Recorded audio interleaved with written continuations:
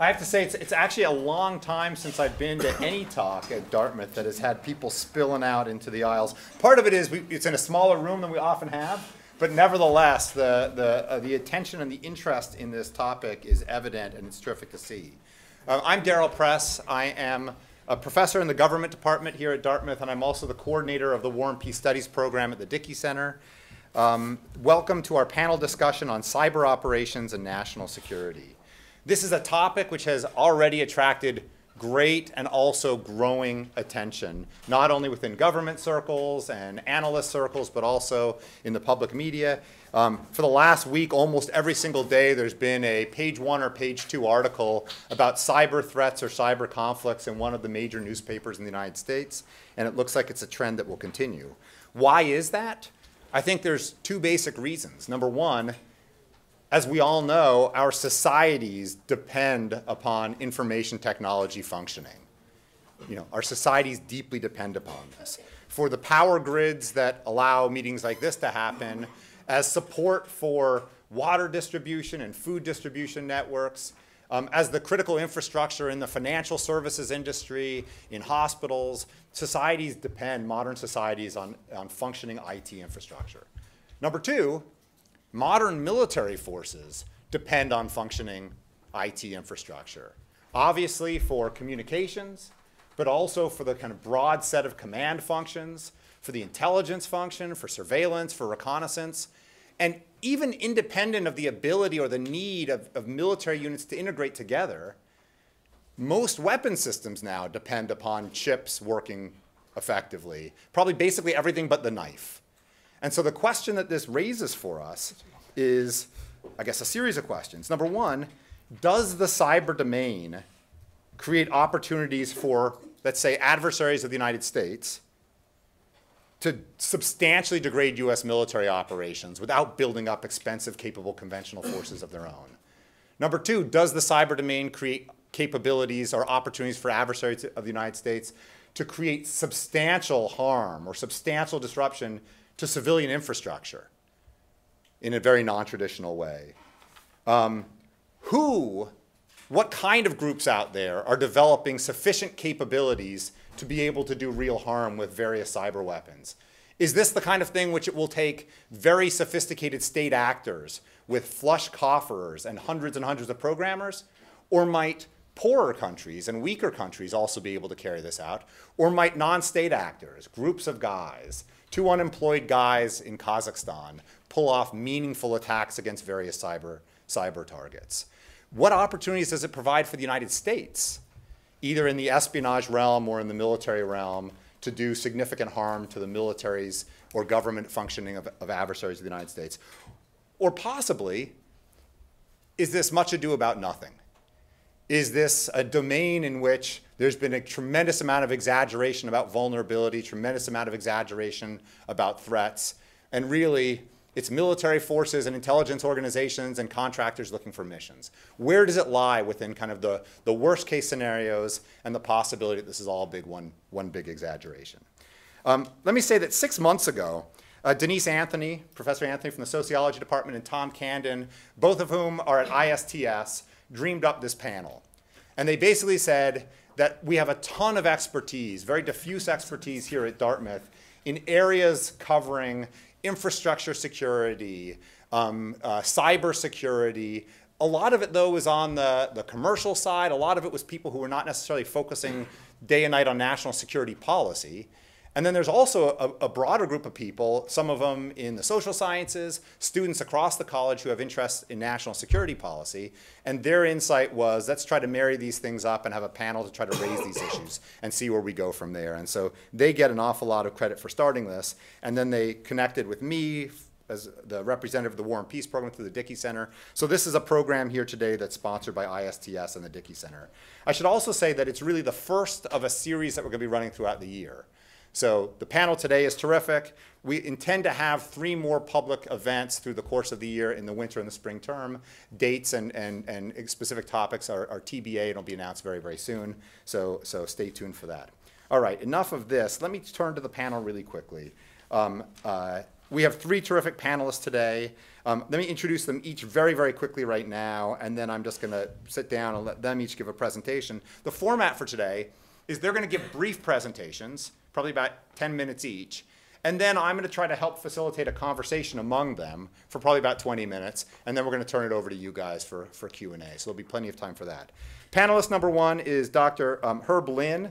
Um, Dr. Lin is Chief Scientist at the Computer Science Telecommunications Board, National Research Council at the National Academies. He's the director of major projects on public policy and information technology and has written some of the real seminal texts to this date, to date about topics of cybersecurity, offensive information warfare, and cyber deterrence. So it, it's a great honor to have him here. Um, the second person to speak, I believe, Martin, are you going to go second? I guess I am now. There you are. Second person to speak now is um, Martin Libicki, who's a senior scientist at RAND, and he's been focusing on the impact of information technology on national and domestic security for many years. And he recently authored um, um, a manuscript called Cyber Deterrence and Cyber War, and is just um, one of the leading experts on this topic. Lastly, but not least, we have Jon Lindsay.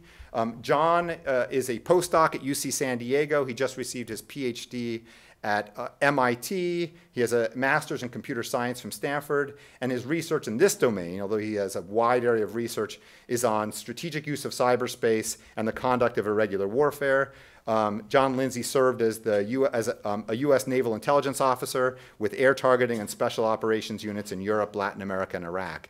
Um, yesterday or a few days ago, Tom pointed out that I can tell you purely by coincidence, all three of our panelists um, are, are, graduates of MIT, and actually I am too. And so he suggested that I begin the whole event by leading you guys in the MIT fight song, but I won't. So with that, let me turn it over to Herb Lin. Thanks. So, did I screw up? I did screw up. Okay, there we go. Okay. So thanks. Uh, great to, to be here. For those of you who were um, at the at lunch today, um, my, my apologies. It's the same view graphs, different stories perhaps, but same view graphs. So my job here is to talk a little bit about the fundamental underlying technology here. Is to, to give you some idea of the the basics, the the real the, the nuts and bolts of, of, what's going on. It's not a very technical thing, but it's the, the technical dimension of this is different in, in many ways than uh, what one might be used to if you're thinking about tr more traditional kinetic operations. This is the one slide version of cyber policy. Everything you needed to know on one slide. Uh, we depend on, as, as Daryl pointed out, we depend on information technology for both military and civilian purposes. Therefore, we have to defend it. Cybersecurity is what you do to defend it, to protect it. Okay? There's a defensive aspect to it and an offensive aspect to it. The defensive aspect is something that lots of people talk about, but it's inadequate. The offensive side of it is very hush-hush, not talked about at all. Uh, on the defensive side, there are basically two things you can do. You can buy better antivirus programs. All of you should be running antivirus programs on your computers. All of you should have firewalls, all that kind of thing, good passwords, all that, that, that stuff. Those are called what you call passive defenses. And if you get into trouble, you can call the cops. Okay? And then they tell you get in line because they've got a lot of other people to worry about too. So all that's inadequate. And so it's natural to start thinking about the offensive dimension of it, how much you strike back uh, make somebody who's attacking pay a penalty of some sort. Um, but it's not discussed at all publicly for a variety of, of reasons. For example, the recent Defense Department strategy on cyberspace doesn't at all acknowledge the role of offensive operations. Once you have offensive operational capability, you can use them for non-defensive purposes.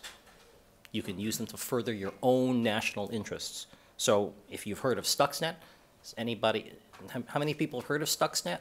Okay, so Stuxnet is a uh, computer worm that has attacked Iranian centrifuges that are used to produce enriched uranium for nuclear weapons. And there are some reports that it says that it set it back by five, you know three years. You hear various estimates of it. Nobody knows who did it. Nobody knows who is responsible for it. There are a lot of theories. Nobody knows for certain who's responsible for it. But it was clearly a cyber attack against uh, Iran. These are the, this is the fundamental of, fundamentals of the offensive, of, of offensive operations. And by the way, these slides, I'm gonna send al- along to Daryl if you, if you give me your email address and he'll distribute them to anybody who wants them.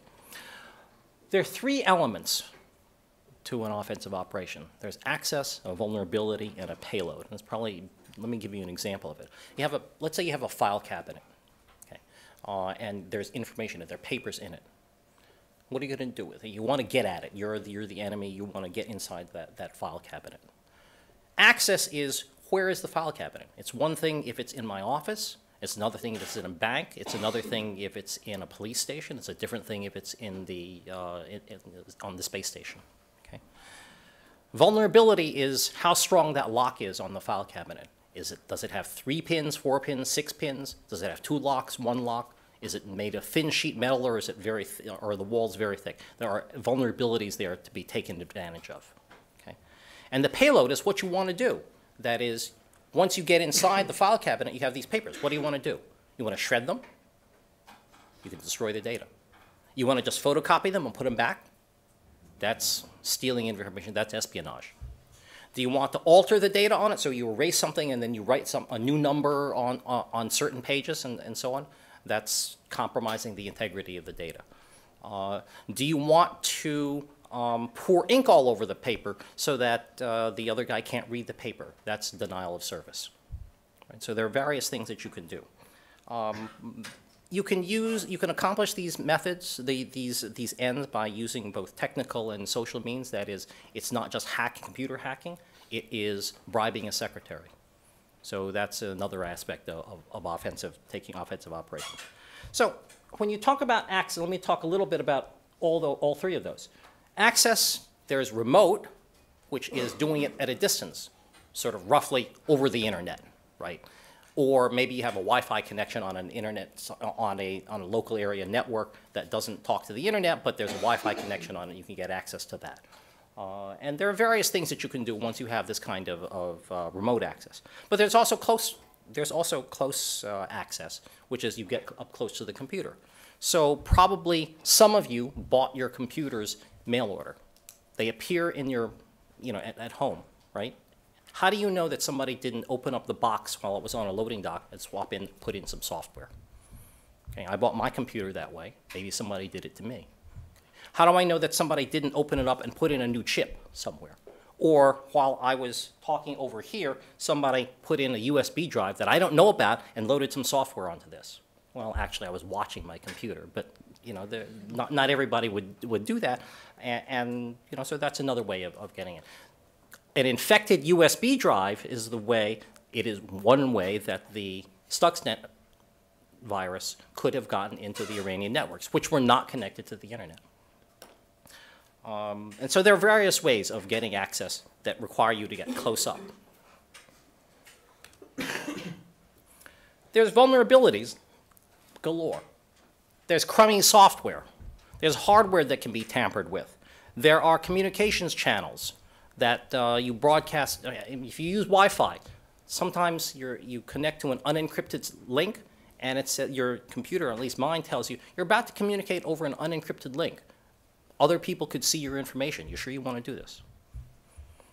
There's the system configuration. Sometimes the system comes with default passwords. You can look up default passwords on the internet for most routers, for example. I've done it. You can do it too. You can probably crack 30% of the routers you come across with just by knowing those default passwords. Uh, and people don't change them. Why? Because they're lazy. Okay. There's many ways of getting access. You can compromise the users. Okay. You can blackmail them. You can bribe them. You can get at the manufacturer that you can persuade the CEO, you can persuade the CEO to do something, especially if you're about to give, if you're, if you're a government and you want to give this guy a contract. You say, well, if you're going to, you, we're going to give you lots of business in the future if you cooperate with us. And the cooperation is, well, you make antivirus programs and, well, maybe you want to ignore the following virus if, it ever, if you ever see it. Right? It's a possibility. I don't know that this has ever been done, but it's certainly within the realm of possibility. Uh, you can get at communications channels. You can monitor a Wi-Fi signal. Uh, you can sometimes there's a modem that's attached to a computer, uh, a telephone connection to a computer that shouldn't be there, but it's there anyway. Um, sometimes somebody goes into a closet that's outside and hooks up a Wi-Fi router that nobody knows is there, and they broadcast it. In fact, at home, I have a, I used to carry it around, I don't do it anymore. I have a little device about this big that turns any computer into a Wi-Fi broadcast station. So if I slip it onto the computer in your office and put it in back so that you never see it, it just becomes a Wi-Fi link, and now I can listen in on your conversations just by walking down the hall. It's all kinds of interesting ways of, of, of getting this. You can go after service providers, uh, service providers who do virus uh, checking, for example. Um, you can plant the mole inside a, uh, a manufacturer. All sorts of things you can do. what can you do once you're inside?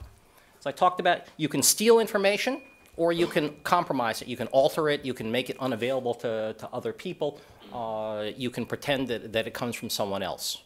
Okay, all of those are, those three things, compromises of integrity and authenticity and availability, those are usually called attack. They degrade, disrupt, destroy information or a computer system. Um, exploitation is when you steal information. It's not stealing in the usual sense. If I steal your wallet, you don't have it anymore, right? I have your money, you don't. But if I steal your social security number, I have it and you have it too. That's why you don't know that you've, that you've lost your social security number because you haven't actually lost it you still know what it is, right? That's part of what makes the whole business so interesting. Excuse me. Both attacks and exploitations use the same technical means. If there's something that happens to your computer, you don't know whether it's an exploit or an attack, right? What happened? I don't know. And it's very hard to know. By the way, the, the press also can't distinguish them. To them, everything is a cyber attack. But if you look up cyber attack, what it almost always is an exploitation. That is, somebody has lost information or has compromised information. And key characteristics of these things. Okay? What can you do? Well, sometimes you're not interested in the computer. You're interested in the generator that's connected to the computer, so you try to kill the computer, so you kill the generator. The generator is the thing you wanted. And so what that means is that since you can connect anything to the computer, the indirect effects really matter a lot. And indirect doesn't mean not primary.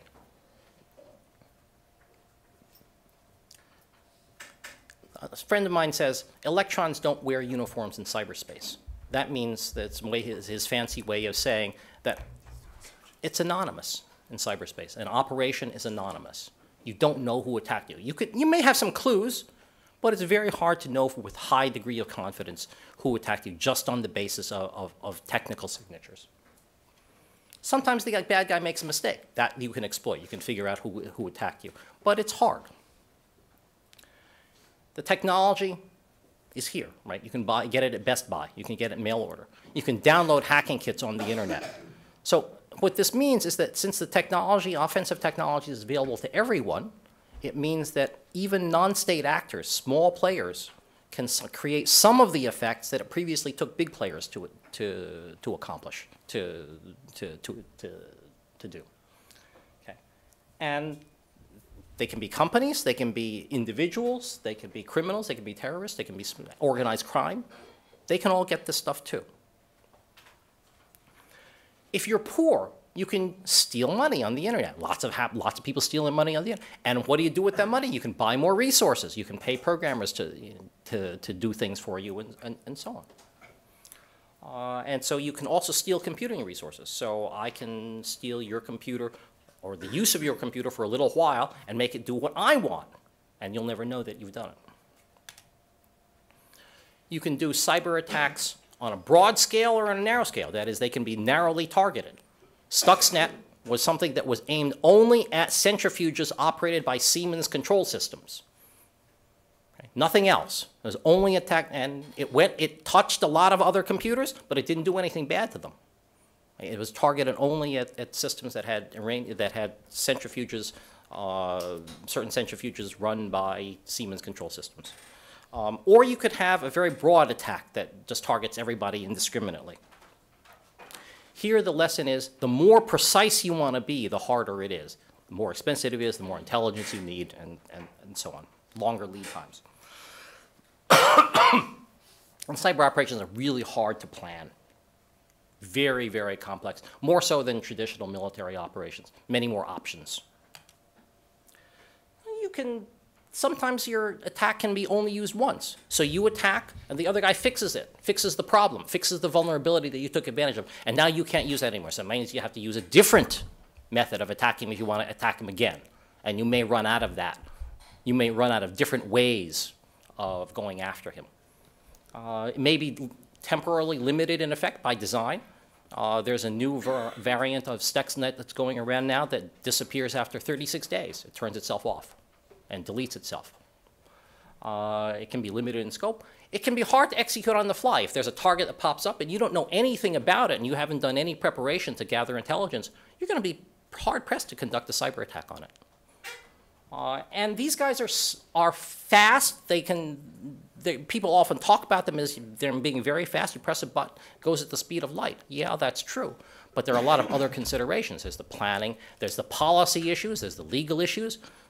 In practice, over time, historically, over the last 10, 15 years or so, the speed of a cyber attack has been governed by law, not by the speed of transmission. It operates at the speed of law, not at the speed of light. How do you use offensive operations to defend yourself? Well, you could do it before he attacks. You can get early warning. You can know that he's about to, uh, that, that, he's uh, about to attack you. How do you do that? You have to be in his computer system watching him generate the attack. That means you have to be, you have to penetrate his system. Maybe you have to preempt, you can preempt him. Maybe you can, destroy his computer systems before he's able to destroy yours, to attack yours. I mean, you could do that.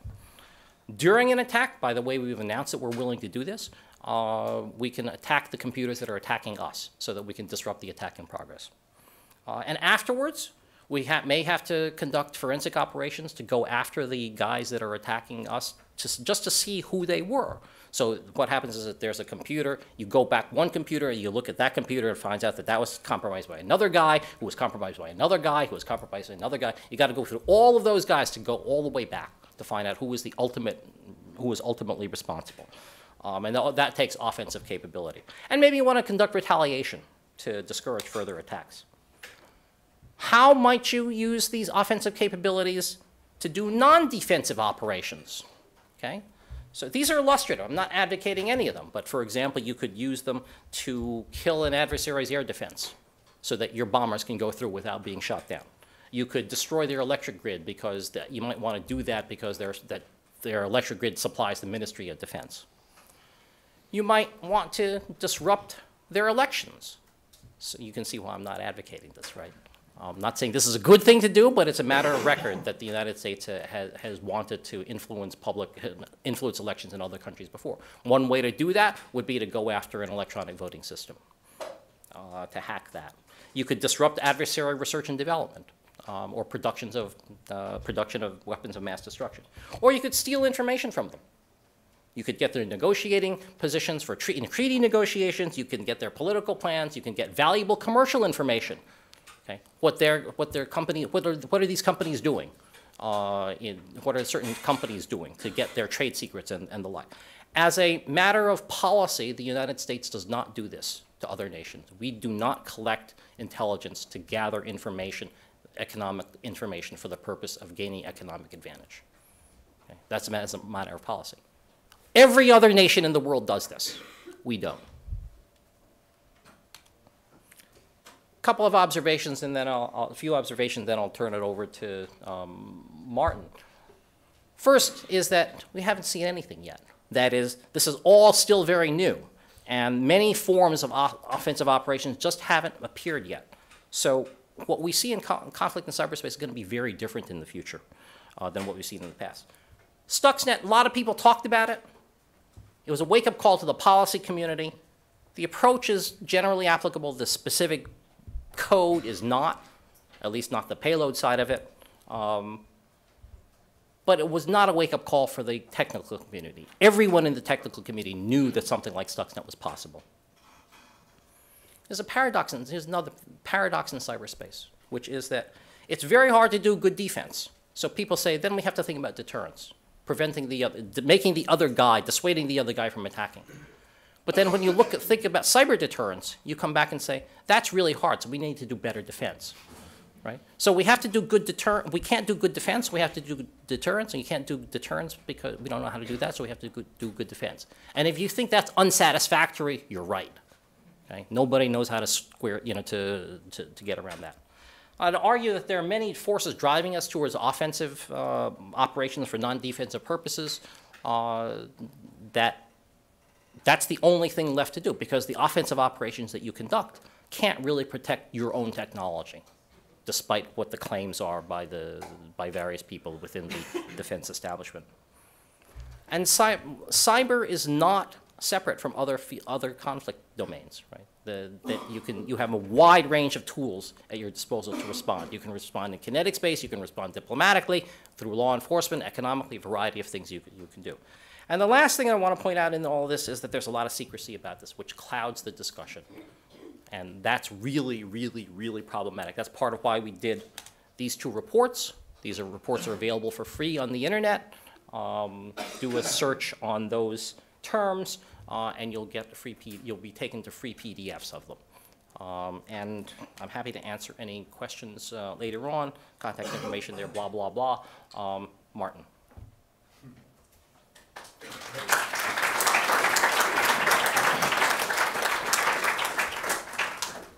Thank you for your applause, and you don't even know what I'm about to say. Um, Once had the opportunity to talk to a retired Israeli general.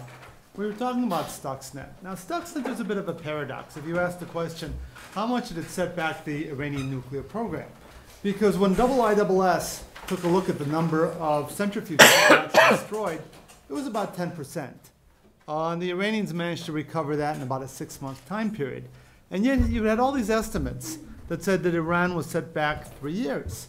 So I talked to the guy. I said, look, you had this wonderful Stuxnet. Didn't seem to have done you a whole lot of good now, did it? And he said, maybe yes, and maybe no.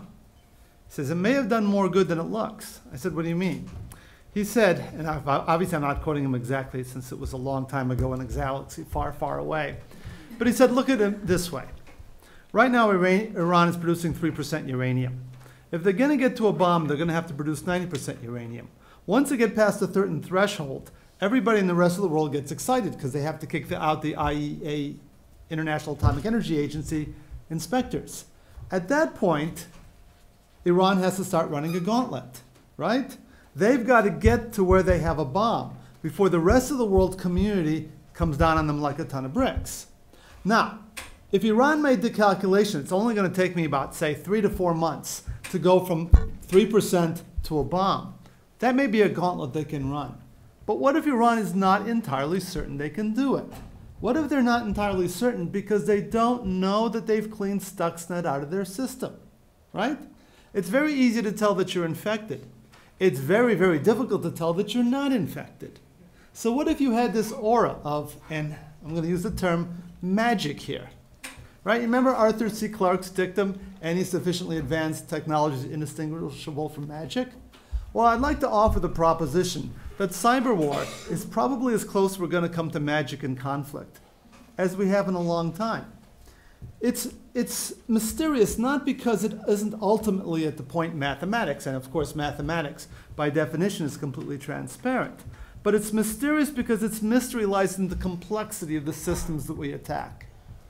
For any halfway defended system, and I'm being very liberal in the use of the word halfway, a system can only be attacked if there are flaws in the system, if there are vulnerabilities in the system. Now, if your system were simple, you could pretty much guarantee, with reasonableness and even some mathematical proofs, that in fact the system is flawless. But as we know now today, computer systems are increasingly complex, and every year they become more and more complex. Not only is the software more complex, but the aggregation of things that we put together in networks also becomes complex, right? Now, what happens is the only reason I can attack you is because I know that you have a flaw in your system, or I believe you have a flaw in your system that you yourself are unaware of. Now, notice, by the way, that's a very high bar in knowledge. I've got to know more, at least something about your system that you don't know about.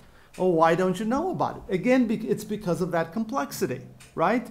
If I knew my systems were not infected, I would also know enough about my systems that my systems couldn't be infected. But in fact, we don't have that level of knowledge precisely because of, the, of that notion. Now, so what we have is a world in which people have a certain level of concern and fear, but fear is the wrong word as I, as I will demonstrate in a moment, okay, about what their, how penetrable their systems are. Um, now, why do I say fear is the wrong word? You're maybe all familiar with the acronym fear, uncertainty, and doubt, which is usually said in one breath as one word as if it were the same thing. But in fact, it's not. Because if you take a look about nuclear weapons, you're talking about a world of fear. You're talking about a world of almost somatic um, response to the fear of nuclear weapons. But if you talk about cyber weapons, you're really in the realm of doubt. You're really in the realm of lack of cognitive knowledge, right? If I had a nuclear bomb and I was threatening you, you would have no doubt about the efficacy of that device, particularly if I demonstrated it before. But if I had a cyber weapon and I was threatening you, you might have a great deal of doubt about the integrity of your own systems, or you might have no doubt at all, which gets into a somewhat of a, a paradox. And the, wor- and the world of cyber war is nothing if not replete with paradoxes, okay? If I demonstrate a capability, I may be adding to my ability to deter all sorts of actions on your part. But at the same time, I might be reducing it.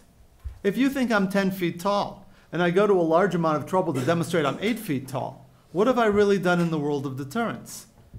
And the answer is, well, maybe I haven't done myself any favors here. Maybe I've sort of gotten rid of the magic. And what you actually want is to maintain the notion of magic in the other side's mind. Okay? Now that's offensive. Let me talk a little bit about defensive and turn the problem back on itself. I've been in this business more or less kind of for 15 to 20 years thereabout. And when I was at the National Defense University, I had a good colleague of mine, Colonel Allard, who said the first rule of information warfare is do not do it to yourself. I thought it was pretty wise on our part, right? So let's think about deterrence. Magic is what the United States does to other countries, right? Or is it what we do to ourselves? For instance, if you were the Secretary of Defense, you wouldn't dare deter yourself by worrying about a cyber Pearl Harbor. You wouldn't dare deter yourself and to demonstrate that the United States can, in fact, be dissuaded by saying how easy it is, how probable it is for somebody to take down the national infrastructure. And yet we do it all the time. Yet we do it all the time because we ourselves are a little uncertain about cyber war. It's almost axiomatic to say that whatever cyber war happens, it'll be something we didn't predict.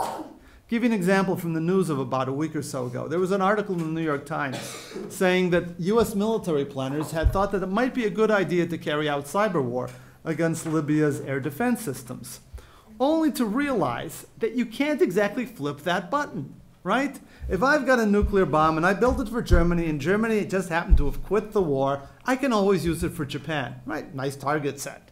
You can't do that for cyber because the vulnerabilities in the systems you're going after have to be discovered. As it turns out, unless the other guy's really stupid at his infrastructure, and you, you never, count, never count out other people's stupidity. They may always give you an opportunity. Generally speaking, as Herb suggested, it's going to take a while to find that vulnerability. So it's like, okay, give me six months and I'll get into Libyan's air defenses. And you're the kinetic guy and you're saying, excuse me, but in a week I'll probably have all that stuff down, you know, down to the ground anyhow. Who are you guys trying to impress? Which, by the way, is not a bad question for cyber war, okay? Now, this business of magic, I could go on and on, but in, in, in, deference, in deference to the length of the conference and in deference to my general lack of sleep, I just want to end on, on the following note. About 30 years ago, I got into this war business. I started working in the Department of the Navy, and I quickly learned that if you wanted to be serious in talking about war, you had to sprinkle in some German words. Blitzkrieg was good. There are others I've seen, you know, fingertip control, there's a German equivalent for that, right? That showed you were really a serious student of war. One of the problems in cyber war, however, is we haven't had a whole lot of German. Part of the problem is that the word cyber in German translates into, ready? cyber, because actually it's a Greek word. Um, and I really miss this. So I'm going to coin now a German word for cyber war. First thing I want to do is I want to capture the notion that a lot of what concerns us is really not war, right? We're concerned about countries, e.g., China, uh, overtaking us in an economic race because they're stealing all of our intellectual property.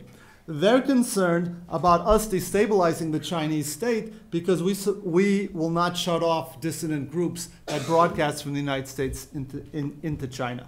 By the way, these are serious concerns in both of our, our, our, countries. And if you try to negotiate about cyber war, you realize pretty quickly you're talking about two different things, which kind of makes negotiations a little more difficult than you might have hoped. At any rate, so I decided the word struggle was a much better idea, and it translates in German and, of course, into Kampf. If you, if you speak German, you know my pronunciation isn't that good, but I'll do what I can. But what do we do for the first word? And it turns out there's a very nice word called Zauber. How many of you are familiar with Zauberflöte? Mozart's a magic flute, right? And it sounds similar to cyber, but it really means magic. So there you have. I'm going to put a trademark on the term Zauberkampf. And for that, I will turn to you.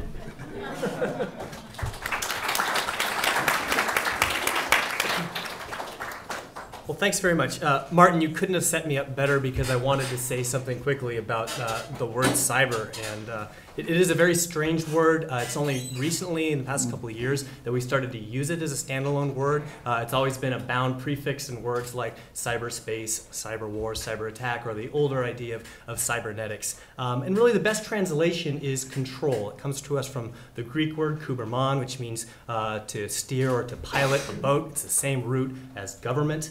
Um, and, uh, and once you start thinking about it in that terms, I think that uh, um, it, will help us to, to, to get uh, a, a, little ways. Um, cyber as an independent word has only really emerged in the last couple of years as the Department of Defense has started talking about it as a, another domain, an independent domain for conflict, which is separate from the natural domains of sea, space, land, and the air. Um, and uh, this may make some sense uh, when you have to run a bureaucracy and you need to separate budgets and make sure people are trained. Um, but it's a little strange actually to, to think about in this way uh, because uh, computers and communications and control systems are the things that allow military forces to do anything at all in any of these other actual domains. So you can't operate in the sea, on the land, um, or in the air unless you can actually uh, connect planes with their headquarters and one another, uh, and if they're able to see their adversaries, so on and so forth. So this is fundamentally an integrated control technology which makes, makes it possible to do all other sorts of military operations. Um, but now we started talking about uh, the idea of operating cyber. We have U.S. Cyber Command that is going to, you know, command and control cyber offense and defense in this area. So how can we think about this? Um, prior to the stand-up of U.S. Cyber Command, the, probably the biggest advocate in the U.S. government for thinking about it this way was the U.S. Air Force. You might remember they had a slogan, air, space, and cyberspace. Uh, they were running commercials and whatnot. Uh, the Navy's also been a big proponent, and uh, it should be telling that it's the Navy and the Air Force, the two most technologically sophisticated services that have really been started to bang the drum about cyber when it's been the Army and the Marine Corps that have actually been engaged in two hot wars um, uh, in Iraq and Afghanistan. So um, here we are talking a lot about cyber at a point that we're drawing down, defense budgets are shrinking, uh, and, and, whatnot. So what is the prognosis for uh, cyber as an independent weapon?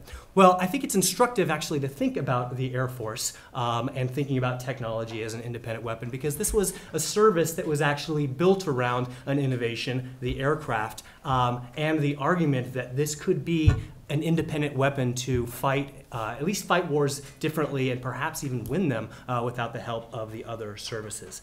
Uh, but when this theory was put into practice, uh, it ran into a couple of, of challenges. So uh, the, the original ambitions kind of came in two flavors. And one was an idea that if you attacked, if you flew over the battlefield, didn't engage forces at all, went all the way home and started bombing civilian targets, you would cause such panic and uh, dispiriting uh, situation that the populace would beg their leaders to stop the war. It would just be so bad uh, that there would be a complete loss of morale. Uh, the other theory was, well, this is a way to break the economic infrastructure and break the war-making uh, potential of the adversary's country so they wouldn't be actually be able to, to wage war on the battlefield. Fair enough, let's go ahead and try this in the Second World War.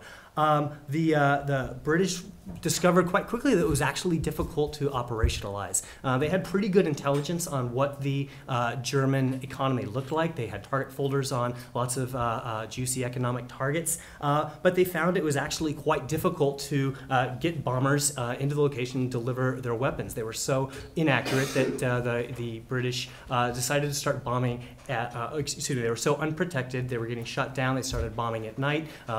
Therefore, they were just aiming for cities, hoping that they would hit factories within them. When the Americans showed up, they were a little more accurate. They were only missing by a couple of miles rather than entire cities. Um, but still, that was a long learning process before Americans realized that bombers could not escort themselves. They were getting just mobbed and shot down um, uh, with great loss of life uh, by German air defenses. Uh, so, not until uh, escort fighters were starting to be long-range escort fighters were produced uh, in, in, enough quantities um, were American bombers able to, to deliver the punch. But even then, um, they found that it was very difficult. Found that when you bomb an adversary's population, they don't give up, they actually get angry. And this is an experiment that's been run over and over again uh, against the United States with Pearl Harbor and 9-11, um, with the United States against Serbia. We found people don't like getting bombed, it tends to redouble their resolve to resist. Furthermore, um, economies actually tend to be fairly resilient. Uh, the British economy took a pounding and yet um, ended up producing more war material uh, at the height of the Allied bombing than before it. Uh, they found all kinds of synthetics to uh, use when uh, oil stocks were depleted, different ways to produce ball bearings and, and whatnot. Um, so, so the original theory didn't work out too well, but that doesn't mean that. I mean, this was a this was a very costly campaign, but it doesn't mean that it was useless. It did a couple of very good things. Uh, probably the best thing that uh, this did for the Allied war effort was it sucked off um, uh, uh the German Air Force. Uh, so that uh, Allied ground forces really didn't have to deal with the German air threat that they might have otherwise. And this it's undeniably created a great deal of friction in the German war machine, both in the war economy and the command and control. So there, uh, so the idea of winning independently turned out not to work so well, uh, but there was this supportive friction injection role that uh, strategic bombing could play. Fast forward to today, um, I think that actually uh, some of those considerations are fairly independent of the technology uh, involved. We're talking about you know using a technology to bypass fighting altogether, uh, to attack critical infrastructure, and to make war uh, cheaper and easier somehow than it otherwise would be. Um, I would argue for you know, much the same reason that uh, the two previous speakers talked about, because this is such a complex uh, technology, there's a great deal of ambiguity. Uh, it is both harder, we're not sure how adversaries are going to react, but there are these interesting supporting roles uh, that, that cyber uh, operations can play. and we've, ta we've talked a lot about several of these, um, but just to run over them real quickly, uh, the use of, of cyber for intelligence is a huge boon. Um, it's possible now to uh, exfiltrate, you know, gigabytes of data that would have been very, very risky and cost uh, lots of planning and, uh, you know, putting lots of agent risks at li uh, agent lives at risk during the Cold War. So that's a lot easier. That can um, help to improve one's relations against adversary over the long run. The wholesale theft of intellectual property and other information resources, um, whether it be wealth itself, whether it be negotiating positions, and other support sorts of uh, informational resources can perhaps over the, the long term uh, alter the balance of power between uh, countries. Um, I think there is a whole host of very interesting uh, uh, operations that more resemble covert special operations than actual, you know, big war fighting. Uh, and Stuxnet um, is, is, might be a good example. Things that take a lot of planning, uh, that are very target specific, and uh, you know, are really sort of an in and out thing, but might not have you know large scale strategic effects, but you know are, are part of the ongoing game that you know great powers tend to play. Great powers are you know just constantly involved in finding ways to make things uh, dicey and frictive for one another without crossing those red lines that cause wars uh, that would be too costly for either of them to fight anyway. Um, and lastly, uh, again, also in the, the covert action um, uh, uh, category, but you know, there's also an overt side. I think this whole notion of uh, influencing uh, populations and affecting regime stability from the inside is something that we see a number of uh, different states uh, interested in in very different flavors. So. Um, I'll, I'll, leave it there so we can open up for discussion. But you know, bottom line, um, uh, you know, there are precedents for thinking about the most frightening and most dangerous scenarios that get the most press in the news, but there's good reasons to be very suspicious that that would actually be useful in any kind of a strategic operation. And yet, at the same time, I think the playbook for intelligence, irregular warfare, covert operations is very interestingly expanded by this technology.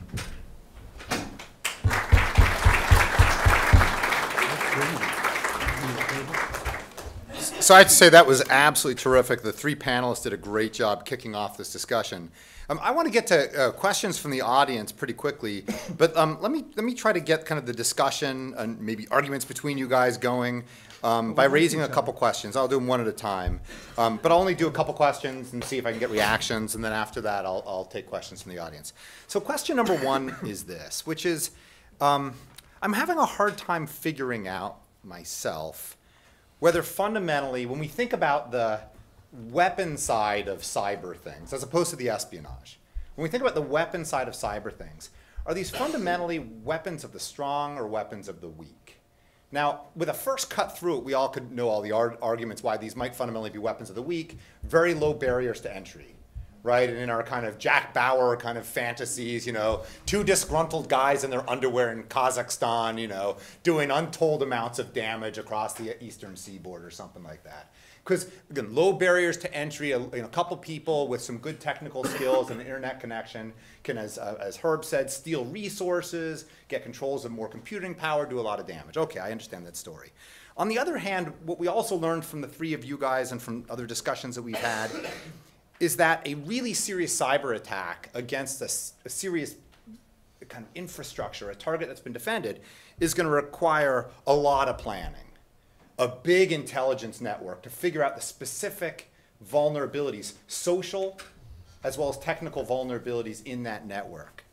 It's going to require a big coding effort it's going to require maybe a whole range of these cyber weapons to be used in sequence because each weapon would only work maybe against a single target. And then once you've used it once, they're going to fix those holes. And so I think about that and I think maybe this really is, you know, a weapon of the strong. And when Jon was just talking about sea, space, air, and ground as kind of domains of warfare, I think, well, the United States dominates the sea, the air, and the space. Not so much, not as much the ground. Those are the areas of where technology rules, like like this one.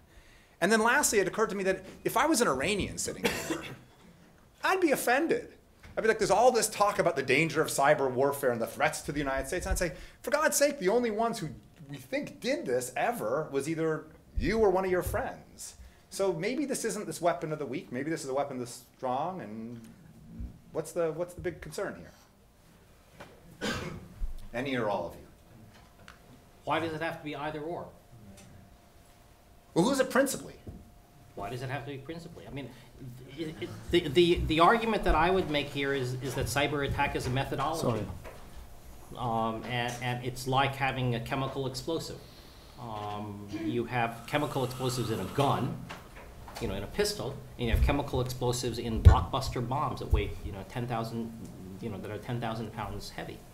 Um, and, and that's, uh, that's a lot. Uh, and, and, but they're completely different in different scenarios. So uh, I don't know that it has to be principally one or principally the other. It's just a, it's a way of achieving something. I have a colleague of mine who has a three-stage plan for carrying out cyber war against the Taliban. Step one, teach them to read. Step two, sell them computers. Step three, you can probably guess.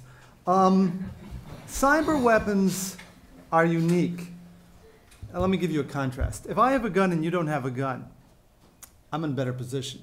If I have a ship and you don't have a ship, I'm in a better position. If I have a plane and you don't have a plane, I'm in a better position. It's also true for spacecraft. But if I've got a computer and a hacker and you don't have a computer, I'm not in a better position. Because you have, you have to get at some level of development before you're even vulnerable to that. But so I would say it's not a matter of the strong versus the weak or the weak versus the strong. It's a matter of the elite versus the naive. Let me give you another example here, okay? There are a lot of countries that use weapons that they don't have the capability of manufacturing because they don't have the sophistication infrastructure. They buy a lot of weapons from folks. Now, if I take an F 16 and it happens to be in the hands of, of an underdeveloped country, chances are they won't use it as in as, as sophisticated a way as the U.S. Air Force is, would, chances are they won't maintain it as well as the U.S. Air Force would. Okay, they won't integrate it as well, but it's still a fearsome war weapon. But if I, you have a network, and I have hackers, I can turn that network into a negative weapon. I can make you worse off for having gone to the trouble of having that network because you haven't, you haven't matched the sophistication of your network management to the sophistication of the technology that you're using for it. Now, you could abjure networks altogether, in which case you're invulnerable to certain attacks, okay?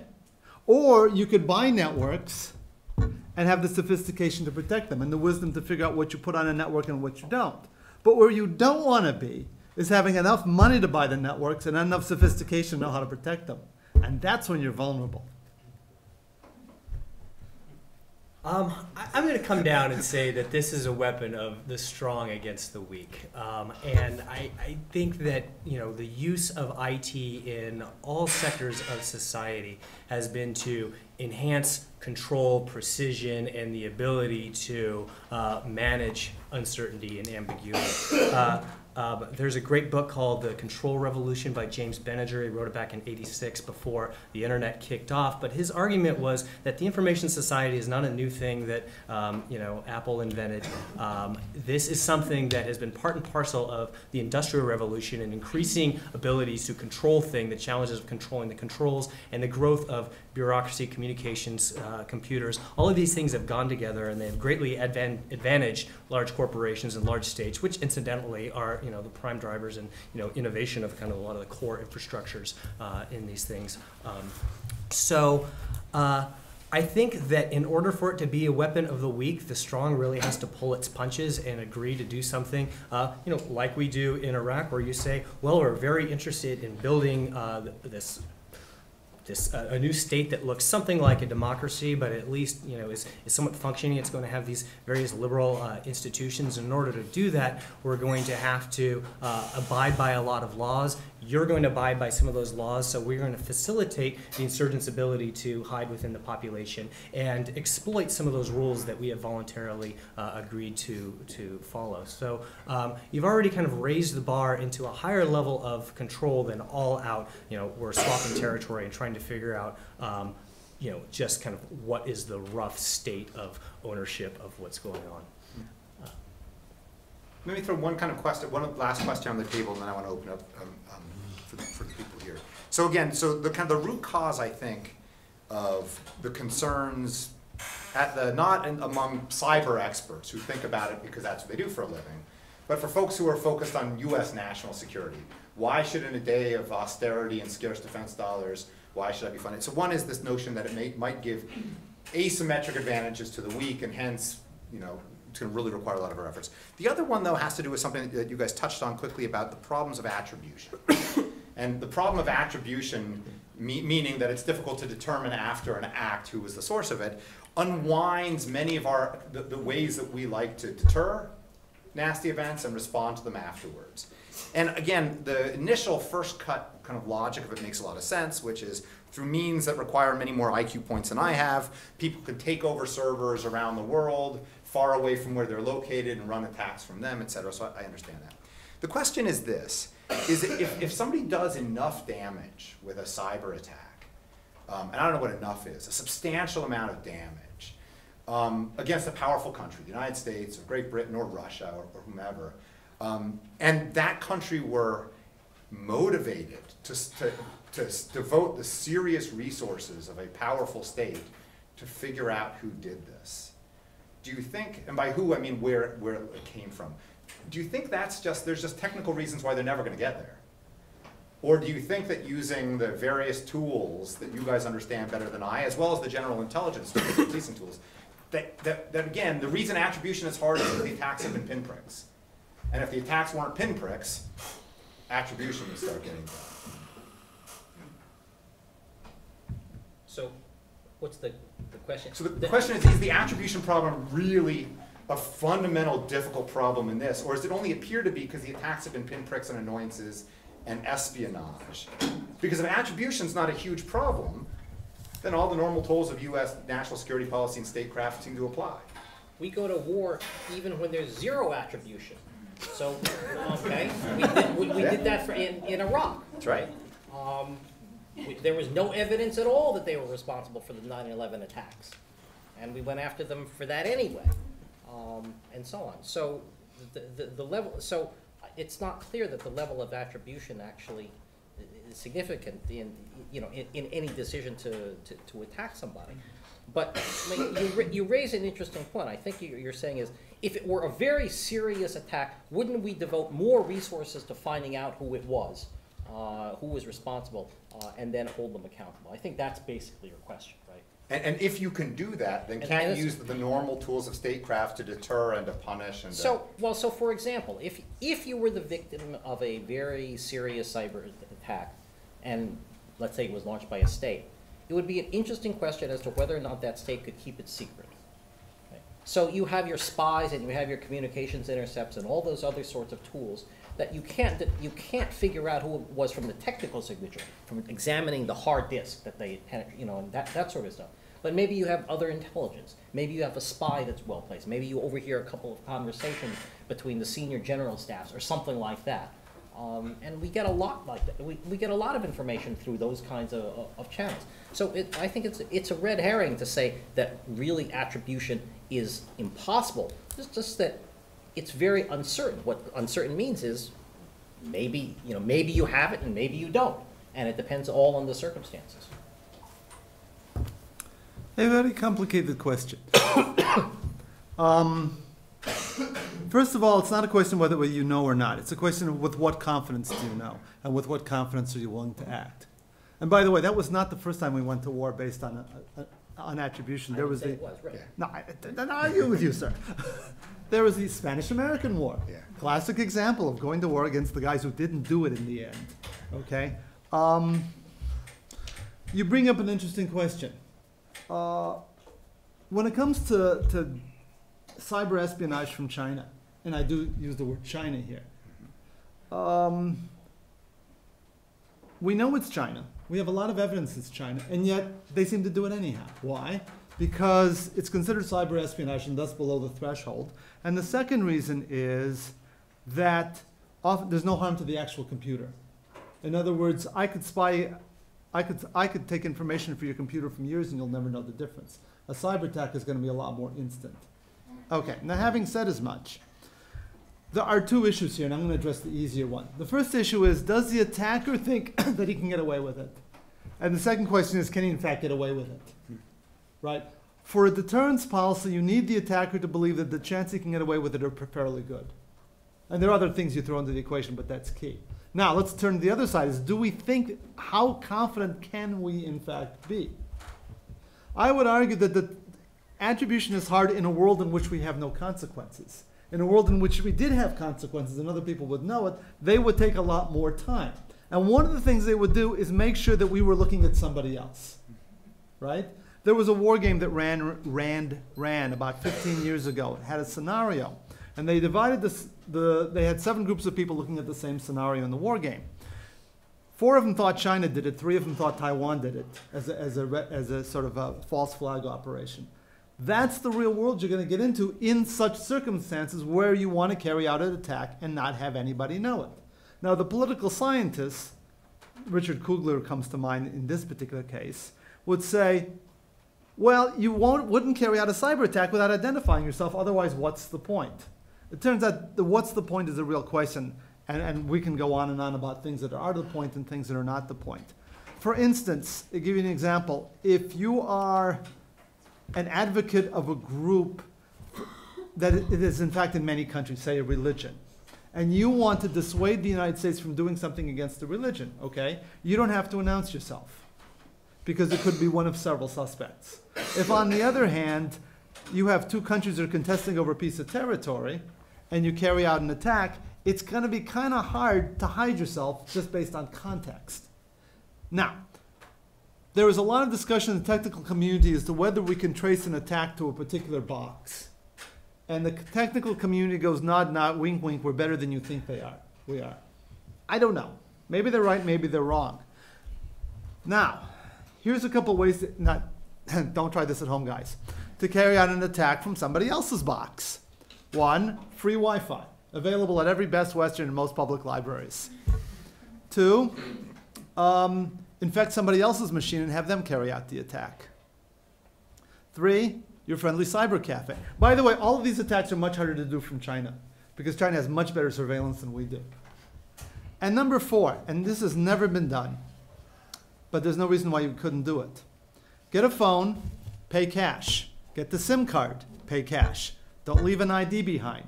Don't call your friends. That's very important. Never call your friends on a phone you're going to attack with, right? Carry out the attack, dust off your fingerprints, throw it in a garbage can in somebody in, in a different cell tower. And you're practically scot free. Unless you have a reputation. Or unless you've been blabbing to your friends. If you've got good tradecraft, your chance of getting caught are fairly low. Now, so you're back to all this other ancillary stuff, and it essentially comes down to the question of as follows. I really hate to speak algebra, so I'll try to do the best I can. Are you more afraid of being wrong than you're afraid of not, not going ahead when you're right? Multiplied by the probabilities of both of them.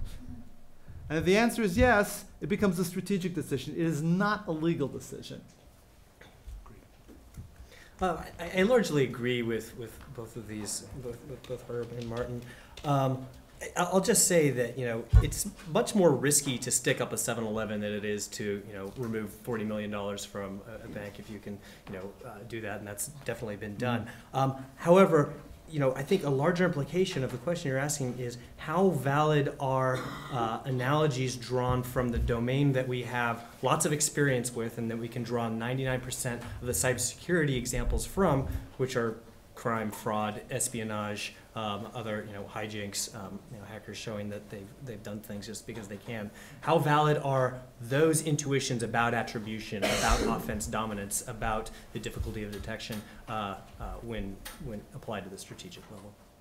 Hey, let me turn this open to you guys and just take any questions you guys have. Typically on these things, we try to take questions first from students. So if there are any people who are clearly and self-identifying as students, uh, and you have a question, raise your hand. Now, why didn't they theft allowed. What was this? No identity theft allowed. Exactly, right. Just say, stand up, say your name and your social security number, and then, uh, And your mother's maiden name. all right, so why don't we start right here with the, the person who had their hand up a second ago, and then pull it I'm down. Yeah. No, I understand, but we we didn't have another one yet, so. Oh, okay. Um, I had a comment for Mr. or Dr. Libicki about, um, the, um, saying that if you know that you're, um, you know your vulnerabilities, then you're, or you, you, you, can defend, so then you can be invulnerable. I just as a sort of a, uh, middle manager IT type person for years, I have to disagree with that because I think that there's a lot of knowledge of what you're vulnerable about and getting people to do, to do something about it is, um, a sort of a major part of the problem, which I think Mhm. Mr.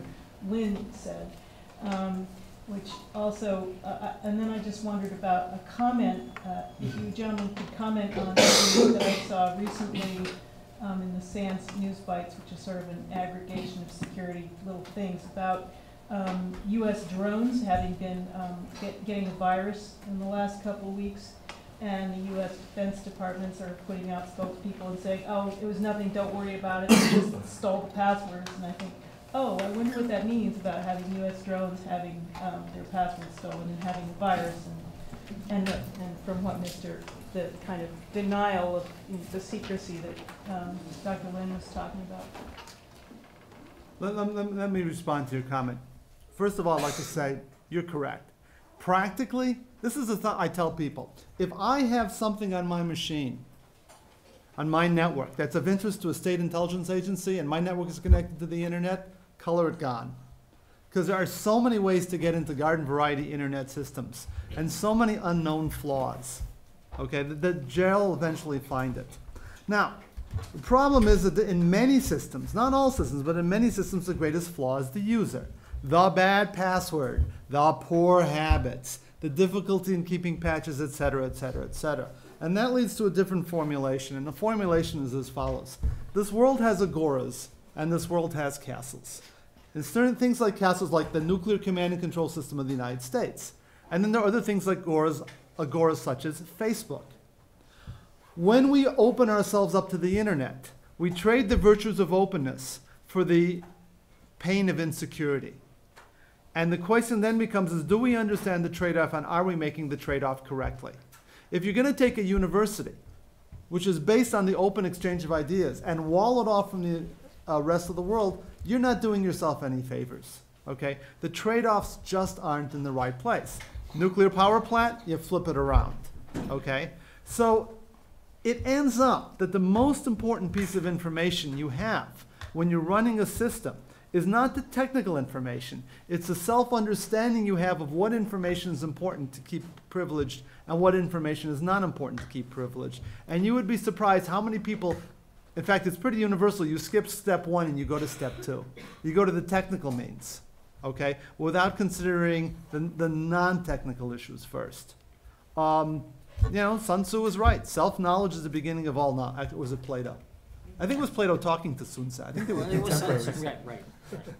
In response to your, your question about the, uh, uh, the virus on the Predator terminals, um, I, I agree, you know, the Air Force Public Affairs handled that really poorly and, you know, they'll be working with that. But there's so much bad stuff sloshing around, even on military classified networks, it would just blow your mind. And I think if you kind of just think about the experience that you have, uh, you know, in your organizations, working with IT, um, having random blue screens of death, just having your PC freeze and not knowing why, and misfiling things. All of these normal things that you know are really funny to laugh about in Dilbert and the movie Office Space um, go on in the military in spades, and yet the organization continues to go on. So if you're going to attack uh, this organization, you better be, do more than just make a lot of noise and friction, because it's very good at inflicting friction upon itself. So, you know, you got to be really, really targeted if you want to have something that's going to come out of the noise. So, yeah, that's alarming. It, it, it's, it's, it's disturbing.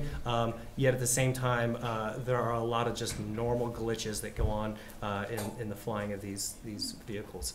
That's why there's a man in the loop to kind of like deal and, you know, manage those things when they happen. Actually, let, let me make another, another statement about the keystroke logging in general. I don't know enough of the details of the actual incident at this point to say anything authoritative about the Air Force did or did not do.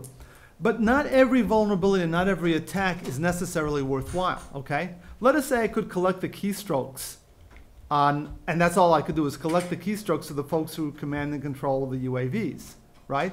If I'm going through an air-gapped system, it's not going to be instantaneous. I got to get somebody to walk the USB drive in. I got to get somebody later on to walk the keystrokes out. So you have to count on a certain lag, which means I can't control the system. All I can do is learn about the system, right? And so in the end, I get this information back, and now I have two months worth of keystrokes on UAV operations that have come and gone long time ago. And the next question is, was that worthwhile for the attacker? The intelligence guys will always say yes. I don't necessarily trust them. And is that really such a problem for the Air Force? And the answer to that one may, maybe no, it may be yes. You have to be able to translate one into the other.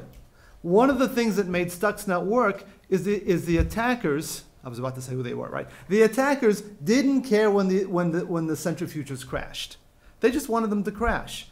A month later, two months later, four months later, eight months later, it was pretty much all the same. They were just here to break things. So Stuxnet was a one-way system. All they had to do was to get the worm from the open world to the closed world for the worm to do its work. Now let's say you want to take down an integrated air defense system. Um, I need a certain precision here, right? If I take it down a month before the war starts, it'll be patched up and running and harder. If I take it a month after the war starts, my entire air defense system, you know, the war may be over anyhow. You've got to get the timing right. And not every vector that's used for a cyber attack can get the timing right, particularly when you're going through an air gap, which is probably more than you wanted to know, but there it is. Thank you. Yes, sir. So we've been talking a lot about um, theoretical stuff, um, which is great. It's really, really interesting stuff. But if I was a policymaker, I guess my question would be: So what does this mean for um, the for the U.S. for the U.S. national security policies? Where do we go from here? Um, do we have to devote more to cyber um, research and development, more to cyber defenses? Um, what are your suggestions moving forward? Um, More for research and development. More for FFRDCs. Budget isn't the only, isn't the only issue, um, but there are certainly interesting problems in, in this space. Um, so just to give, let me, let me give you just two examples of, of, uh, of interesting problems that nobody really has any idea how to deal with. Uh, this is what you'd spend some of the R and D money on. Um, how do you tell the adversary that what you're doing is benign and exploitation rather than hostile, overtly hostile, an attack? When you launch an operation, how do you deal with it? How do you let the, the because you you don't want the other guy overreacting. Okay, How do you how do you inform me? You don't call him up on the hotline and tell him, you know, this the worm that you're seeing now is a friendly worm and it's just going to steal information. I mean, you're not going to do that, right? But how will he know? Okay, and that's that's a real that, that. There's another question. Let's say you're in a shooting war in cyberspace and you're you're trading viruses or, or whatever. How do you know? And then you say no more, peace, stop. How do you know that the other guy has stopped shooting at you? How do you know that you've stopped shooting? How does he know that you stopped shooting at him? Okay. The, so let me give you an example of something that goes just completely nuts. Okay. Because why? Because you have to use, you have to, you're still under cyber attack from everybody else. So does that mean that when I start the cyber war, I have to identify my my, my malware with the inside there's a, a, a string that says this is this code comes from the U.S. government and is part of a real attack, so that when they Please no lo- so that when we stop, so that when we, we stop, we no longer send those packets. This is, gets into the surreal. Okay, this is complete. What I'm proposing here, not seriously proposing for the tape, is completely it's completely ridiculous. Okay, but how would you do it? What would you? How would you know that the other guy is complying with a cease with quote a cyber ceasefire? And what would that mean? I mean, nobody has any idea how to deal with these issues, and it's not. It's not. It's partly a question of money, um, but it's really nobody has good ideas about this stuff. Oh, you wanna go next? Yeah, you know, my, my biggest recommendation in, in this space is to, you know, relax, not go too fast. Military is going to do what the military is going to do, but because so much of this problem is based on the relationship between the private sector and the public sector, um, there are there is a tendency to reach for regulatory tools to perhaps, you know, enforce design requirements or you know various requirements on the architecture of the internet, uh, which could have fairly adverse consequences for uh, the innovativeness, the economic productivity of the information economy, uh, civil liberties and privacy concerns are really big when you start thinking about security and automatically thinking that surveillance and security are the same and they're not. Um, so uh, in that case, I would say you know be very wary of precautionary reasoning that says computers are everywhere, threats are everywhere, and normatively adopt a commitment to trying to make sure that you have proof and evidence and good reasoning before you have a regulatory intervention into you know the market in order to manage. And, and, and I might not have made this clear. I mean, the private sector is is essential because you know they invent, own, and operate most of the infrastructure of cyberspace. Um, they create the vulnerabilities and therefore could reduce it if, if their incentives were different. So, um, you know, that's really kind of the long-term management issue, which is a different one than kind of traditional, um, you know, self-enclosed military space of developing capabilities to affect the balance of power. Three things. First of all, I think the military has to understand what its performance would like be, what its performance would be like under conditions of a first-rate cyber attack. My hunch is that we do not understand it nearly as well as we need to, from a military's perspective. Number two, I would make sure that our electric grid is air-gapped. Used to be air-gapped, by the way, and then we started getting lazy. I think we have to return to air-gap. Not because the likelihood of a wholesale attack on electric grid is particularly high, but because the consequences are sufficiently serious. And the number of people you would sort of discomfort, the whole notion of castles. I think the electric power grid is a castle. I think the number of people you inconvenience is relatively small. It sounds like a good trade-off to me. The third thing I would do is modulo number one and number two is to stop going around telling everybody how vulnerable we are. I, I just want to, ask a question to something Herb just said, but before that, I also kind of want to say something there. When the National Security Agency was here last week, I don't know how many of you went to some of those, some of the issue they're recommending is at least workforce, right? all the smart students in here need to be trained in, or we need to be training more people in the technical skills in order to at least understand some of the things they're talking about. So just my plug for engineering and computer science, even though I'm in sociology, so do that too. Um, but my question is for her, which is, um, you just said, we announce that uh, this isn't a serious attack, this is just, uh, we're just looking around the network? Is that what China's doing? Because the- as you all, all three almost acknowledged, right, there's lots of evidence of, you know, China, what they, the persistent threat that we know from China, and I'm sure we're doing it the other way too. So why is that sort of known and yet assumed to be not problematic?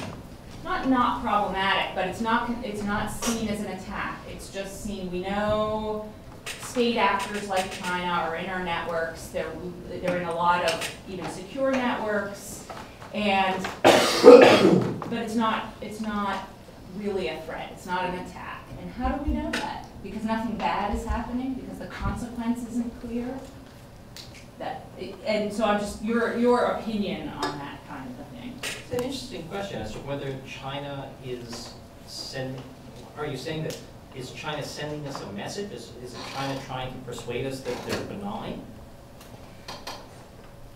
I don't know what they're Right. doing, but, I- right, right. so there's lots of evidence on probably both sides, I don't know on the Chinese side, that there, there are those state actors who are able to penetrate lots of systems. Maybe not the, maybe not the castles, but lots of things leading up to the castles. Right. And yet this is not a provocation that would be if their ships were sitting off of our, off of our borders or something else. So, so how do we know, you said in these kinds of um, cyber locations, there isn't an announcement that this is not an attack, it's just. How how do we know? How do we tell? Why are we assuming that in, in say, the, what, what China is doing to our networks and probably what we're doing to China's networks? It, it's, I, I, I don't know how to, I have no idea how to answer that. I mean, I think that the, we think that the Chinese are only stealing information because that's what we, that's what we've discovered. Once we have, we know what the, once we have the code, and we're, we're able to take the time to do a serious analysis of it, and to figure out who it's communicated with, and, you know, and, and so on, and all this other stuff, we have some idea of what it's, of what it's doing. But in the heat of a crisis, I mean, that's hard. You- You don't worry so much about this in, under peacetime conditions, because, I mean, there's not a war going on, okay? And so you have the time to actually conduct some analysis to tell you. But if you're in the, if tensions are rising, it becomes a really pressing issue to know whether something is benign or something is, is, is malicious. And I would just make the observation that in times of tension, when conflict is, likelihood is, is rising, your intelligence demands go up. So you really want information on what their nuclear command and control system is doing, for example, some, some other guys. You really want to be in there to understand that when they move their mobile missiles around, it's a routine exercise, not being provocative. So you really want to know that. So you're going to increase your efforts. But if they see you at that time wandering around in their nuclear command and control system, you dare say they might get upset. A little nervous. Right. So the, the, my only point is that it's a, nobody knows how to deal with this problem technically, um, or, or procedurally. It's just an, uh, how do you deal with it? No one knows. Herb, on this exact point um, about the kind of the gray area between benign espionage and actual attacks, could you, could you relate just a little bit of what you were t- you were telling me about these hooks, about, Oh, sure. Uh, So some years ago, two years ago now, there were some reports that were broken in the Wall Street Journal that the Chinese had penetrated our electric grid.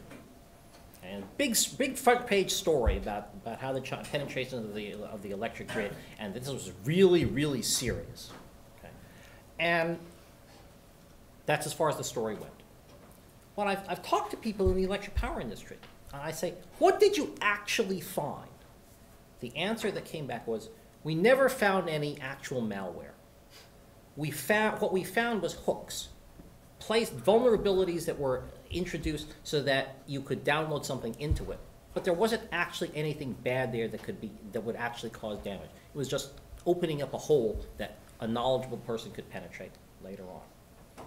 Now, how do you interpret that? I mean, from one hand, that's actually, I'd say that's the, really the sensible thing to do. Okay, you don't want to leave any smoking gun there that says that you're gonna, you know, it's gonna des- destroy the information. That's what you would want to do because you can always upload your your information to it later on if, when you want to. And that's the that's the story. Where in the networks were the, were those hooks? I was didn't it on get- the- Sorry. Was it on the generation side, the control side, the, the rest of the office network? the, it was on the generation, it was on the, as I understand it, it was on the generation, it's Uh-huh. on, on- on the, on the operational side, not the business side. But the fact that it was on the bus, it could have been on the business side too. Those, you'd expect those to be a lot more, a, a lot more vulnerable. But sometimes the business side talks to the operational side directly too, so. And then there's operations and there's operations, Right. yeah. I have to say, I'm constantly struck by the, by, again, cyber feels so different, but the analogies to conventional warfare, where for so many years you read stories about, oh, US aircraft um, near Soviet airspace were escorted out. What were they doing? They were establishing hooks.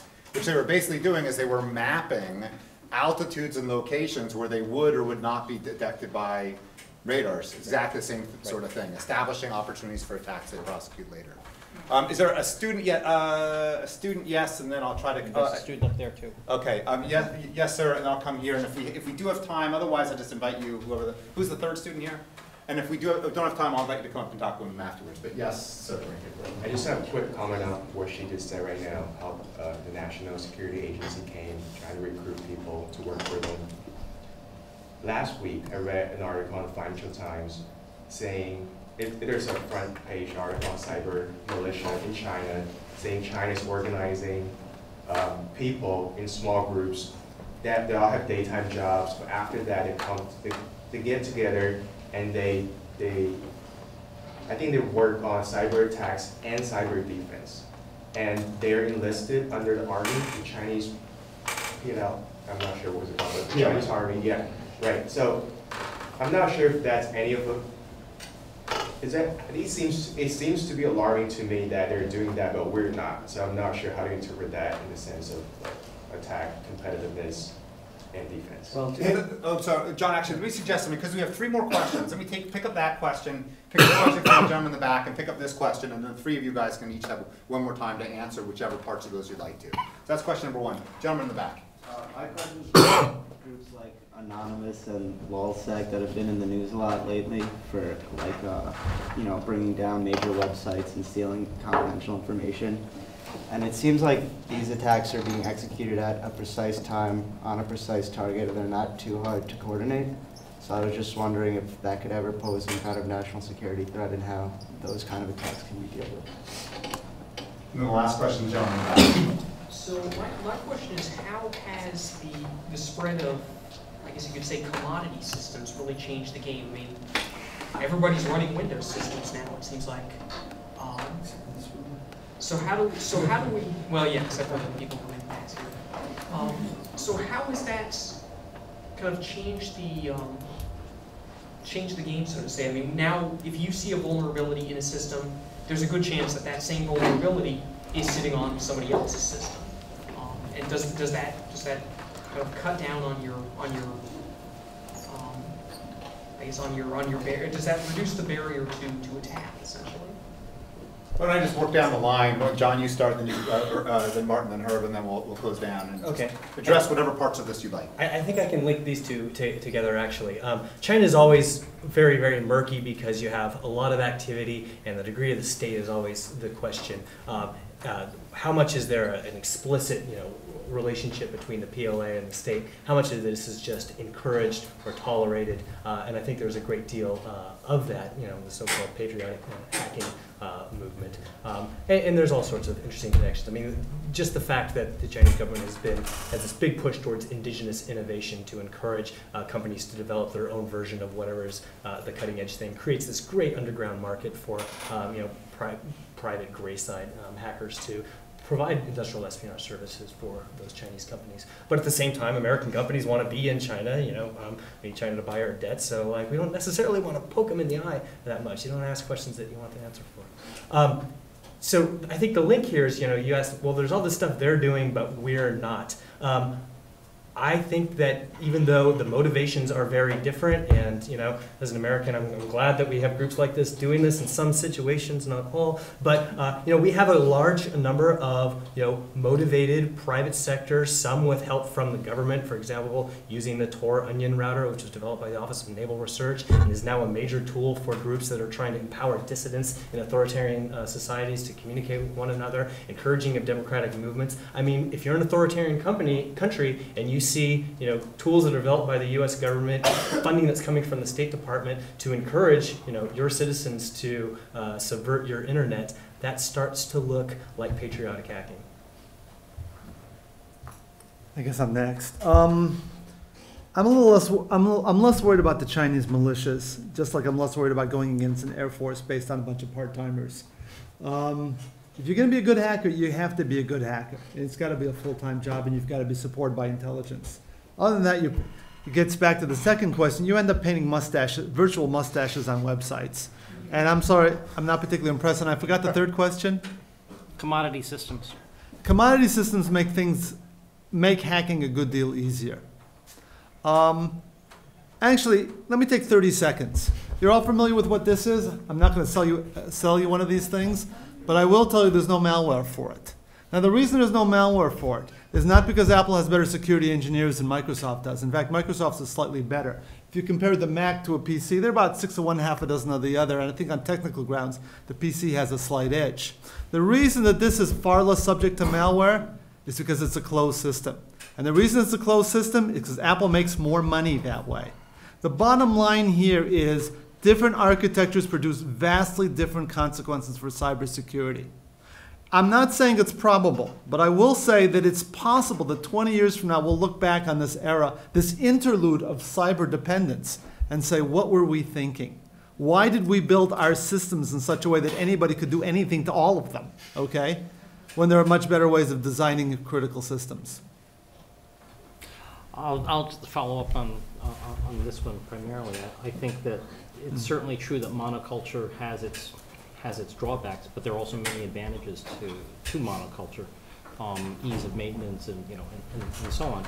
Um, and it's a, it's, it's a, it's a trade-off. Uh, How, there are people who think, from a technical standpoint, think about how you generate seventeen different versions of Windows or, or, or something like that, uh, in their critical places. Uh, there, so there's, there's active research in that. I'll point out that it's not, at this point, the most malicious vector is not operating systems, it's targeting Flash, Adobe Flash. Um, and Ado- Adobe is now the, the most, uh, serious problem, uh, in, in this. So we're going to develop a theory of war based on a middle-sized Silicon Valley company sloppy. Hey, as I said at the very beginning, this is the first of what I believe will be a four-part series. And I have to say, I can't imagine a better way to have kicked this off than with these three very provocative presentations. So please join me in thanking our guests.